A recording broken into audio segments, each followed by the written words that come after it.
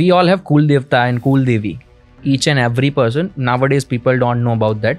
But those who are old, those who have uh, seen the world in uh, 70s or 80s, they know about Kul Devta and What's Kul. a Devta? Sorry, I'm going in there, yeah, but yeah, what's a let's Devta? let's go.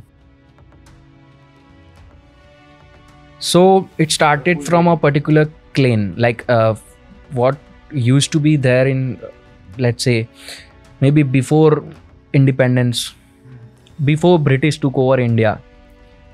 तब होता था कि सब अपने अपनी एक colony में रहते थे। खुद का एक गाँव है छोटा सा। वहीं पर जो कम्युनिटी आज हम देख रहे हैं सरनेम्स हमारी है। कोई शर्मा है तो कोई पटेल है तो कोई कुछ कुछ है।